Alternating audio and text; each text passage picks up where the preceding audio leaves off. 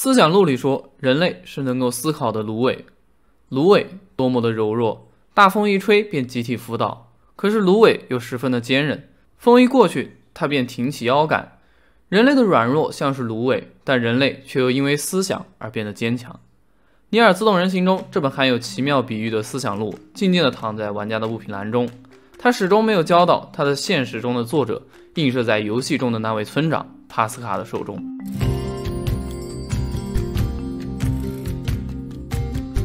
Hello，各位亲爱的大朋友、小朋友们，大家好呀！我是杰奎杰。在《尼尔：斯动人形》的世界中，机械生物与人造人的战争永无宁日。但就在这战火纷飞的世界中，帕斯卡作为村长建立了和平的意欲。与其他机械的木讷不同，帕斯卡像是一位智者或是先知，保护着自己所掌管的村落，也对和平的未来充满着向往。他教村子里的孩子们学习，自己也偶尔读一读晦涩的哲学书籍。在玩家控制 A2 的段落中，有一个任务，便是帮助帕斯卡从抵抗军的安妮莫宁那里借来他想看的一本哲学书《思想录》，而这本永远也没有交给帕斯卡的思想录，正是现实社会中的帕斯卡所创作的哲学散文集。布莱士·帕斯卡，法国17世纪著名的数学家、物理学家，六边形定理帕斯卡三角形压强的单位帕。可以说，帕斯卡在物理、数学等科学领域的成就是登峰造极的。但很奇怪的是，就像很多科学家的晚年一样，帕斯卡也经历了从致力于实践科学到研究宗教情节的变迁。也正是因此呢，帕斯卡在自己的晚年时期才著写了一篇篇的哲学散文，最终被后人整理成册，也就是《思想录》。相信很多人啊都会抱有疑问或者遗憾，或者不屑。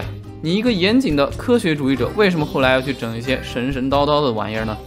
我想把这个问题的答案啊放在视频的最后，在讲述完两个帕斯卡的故事之后啊，或许这个问题也就迎刃而解了。在我查阅资料的过程中，其实我发现了一个两位帕斯卡经历的共同点。首先说一说游戏中的村长帕斯卡吧，在 Nice 需要在地堡修复 To B 独自行动的段落中，帕斯卡跟 To B 曾前往废弃的工厂调查那里的机械生物。他们高举着火把，围着 To B 和帕斯卡转圈，口中说着粘网的语言，表达着自己对死亡的追求。这是一个极其疯狂的宗教。游戏的 CG 中用各种颠倒的视觉来展现教徒们的疯狂。火光萦绕的废弃工厂，想必也是玩家们难以忘记的经典场景之一。而现实中的帕斯卡呢，其实也经历过所谓的火光之夜。一六五四年的十一月二十三日凌晨时分。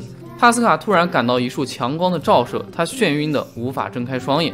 他觉得自己已经灵魂飞升，他好像见到了上帝。第二天，他写下了一段神叨叨的祷词，写下了他对上帝的信仰，对耶稣基督的崇拜。这份祷词直至帕斯卡去世之后才被世人发现，他将其缝在了衣服的衬里中。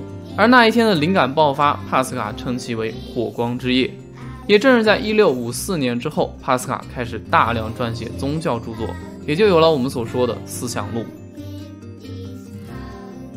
让我们再说回游戏，村长帕斯卡经历了两次火光，一次是疯狂的宗教洗礼，第二次便是帕斯卡村的覆灭。他没有等来 A2 的思想录，等来的是疯狂啃食同类的机械。或许在此之前，帕斯卡还企图用言语来达成和平，但是两次火光之行似乎将他的梦想击碎，而杀死他的最后一根稻草是那群被恐惧背刺的孩子们。帕斯卡本以为拯救了孩子，本以为教会了孩子们感情，他们会变得坚强，但没想到的是，一切没有按照帕斯卡所设想的道路发展。孩子们因为有了感情，感受到了恐惧，因为恐惧了断了自己的生命。孩子们信仰什么呢？他们跟疯狂的教徒们落得了同样的下场。这就是思考带给机械的东西吗？帕斯卡也不明白，他看了那么多的人类著作，文学、哲学、科学。也传递了那么多的知识给其他的机械，他所期望的和平为什么就没有到来呢？思想录里说，人类是能够思考的芦苇，那么机械是吗？在游戏中，大部分的机械是那么的脆弱，面对性能压制的人造人毫无还手之力，但他们的意志又是那么的坚强，学习、阅读、思考、实践，他们甚至比当下更多的人类做了人类该做的事情。但这些探寻真理的边界在哪里呢？读完人类的书籍就可以完全了解这个世界吗？或者说，研究出了各种物理规则、数学模型就可以完全了解这个世界吗？或许两位帕斯卡都已经得到了他们的答案，在那个火光斑驳的夜晚，他们就明白了这个问题的答案。仅仅教会他人思考、学习人类是无法拯救机械生物的；仅仅研究科学也是无法探究整个世界的。人类需要的是信仰，因为人类是会思考的芦苇。人类因芦苇而软弱，却因思考而坚韧。是时候该回答前面的问题了：为什么帕斯卡会走入宗教的歧途呢？因为越是浅薄以及愚蠢的人，越自以为是掌握了宇宙的真理，越敢断言自己掌握了放之四海而皆准的真相。他们既像传递人类知识的村长帕斯卡，也像早年研究科学的现实帕斯卡，对这个世界不存在敬畏，自以为可以掌控和知晓一切。